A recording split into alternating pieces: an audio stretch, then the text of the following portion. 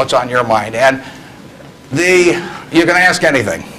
The only thing I won't tell you is what we're buying or selling or about.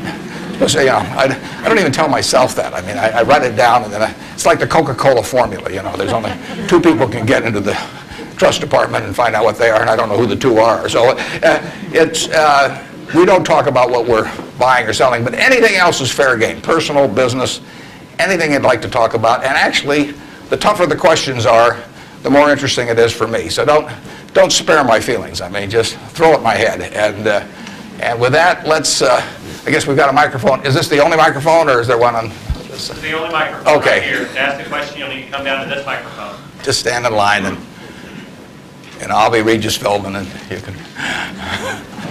Yes.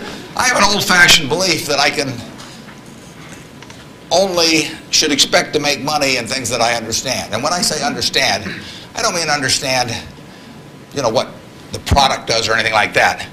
I mean understand what the economics of the business are likely to look at, look like 10 years from now or 20 years from now.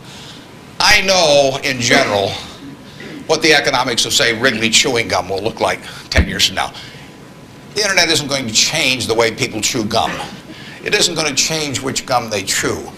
You know, if you own the chewing gum market in a big way, and you've got Doublemint and spearmint and Juicy Fruit, those brands will be there 10 years from now. So I can't pinpoint exactly what the numbers are going to look like on Wrigley, but I'm not going to be way off if I try to look forward on something like that.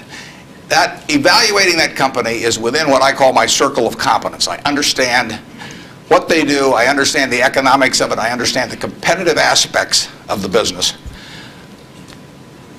There can be all kinds of companies that have wonderful futures, but I don't know which ones they are. I mean,